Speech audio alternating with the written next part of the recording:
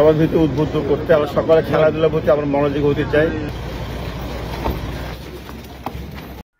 শহীদ আব্দুর রব সেনিয়াবাদ বরিশাল স্টেডিয়ামের চলমান উন্নয়ন কার্যক্রম অচিরেই শেষ হয়ে আন্তর্জাতিক ক্রিকেটের আসর বসবে বলে জানিয়েছেন পানি সম্পদ মন্ত্রণালয়ের প্রতিমন্ত্রী জাহিদ ফারুক। আজ শনিবার আঠারো মে সকালে বরিশাল স্টেডিয়ামে চলমান উন্নয়ন কার্যক্রম ও স্টেডিয়ামে আন্তর্জাতিক মানের পিচ নির্মাণের কার্যক্রম পরিদর্শনকালে এ আশাবাদ ব্যক্ত করেন তিনি। এ সময় তিনি আরও বলেন, বরিশাল স্টেডিয়ামকে একটি আন্তর্জাতিক মানের স্টেডিয়ামে পরিণত করার কার্যক্রম চলছে।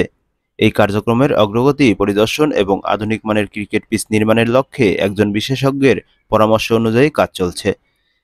পিচ নির্মাণ সহ আধুনিকায়ন কাজ শেষ হলে বরিশাল স্টেডিয়াম আন্তর্জাতিক ক্রিকেট খেলার উপযোগী হবে।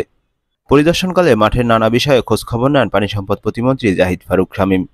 এ সময় বিবেকীয় ফুটবল অ্যাসোসিয়েশনের সভাপতি আসাদুজ্জামান খসরু, জেলা ক্রীড়া সংস্থার সদস্য সচিব মঞ্জুরুল আহসান ফেরদৌস, বিসিবির কাউন্সিলর প্রদীপ কুমার গাঙ্গুলি, জাতীয় ক্রীড়া পরিষদের প্রকল্প প্রকৌশলী শিবুলাল খাসকেল শহীদ আব্দুর রব সেনিয়াবাদ, বরিশাল প্রেস ক্লাবের সাধারণ সম্পাদক এস এম জাকির হোসেন সহ ক্রীড়া সংগঠকরা সেখানে উপস্থিত ছিলেন। এদিকে স্টেডিয়ামের চলমান উন্নয়ন কার্যক্রম প্রায় শেষ পর্যায়ে। আন্তর্জাতিক মানের মাঠ তৈরির লক্ষ্যে সেখানে ঘাস লাগানো হয়েছে, কিন্তু নিয়মিত ও পর্যাপ্ত পানি দিতে না পারায় ঘাস মরে যাচ্ছে।